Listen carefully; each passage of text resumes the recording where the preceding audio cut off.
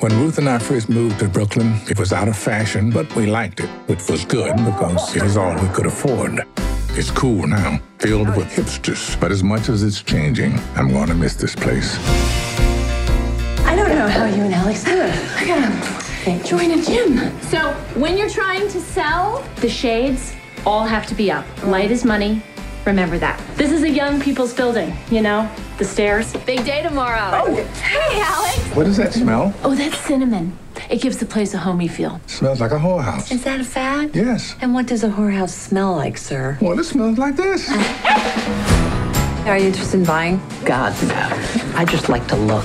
I go to all the open houses. I'm writing a book about them. This wall. What does this wall do? Oh, Hold up the ceiling, maybe? Would you mind just turning off that light? Oh, please don't do that, sweetheart. You're gonna break it. Oh, we And don't I'm- say no to Justin. Can I grow plants? There's a roof. And my husband grows plants up there. I grow mine for medicinal reasons. You looking to buy? My mother is. You have a dog? Yeah. She's in the hospital right now. What's happened? She's just old. You're older than her in dog years. So what's the junior bedroom? Is it, does it have bunk beds? All we need is a place for you to paint and an elevator.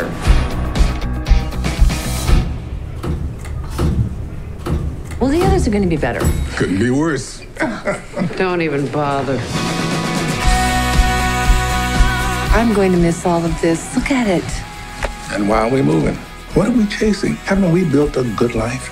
I just want what's best for us. We can do whatever the hell we want. High five. Oh, why are you still paying this old lady? What old lady? Ooh, good answer. Look at this one in Brooklyn. Two bedrooms, lots of space and light, old world charm. That sounds great, doesn't it? That's our listing, Alex. In that case, we should be able to get it cheap, right? You think? Yeah, why not?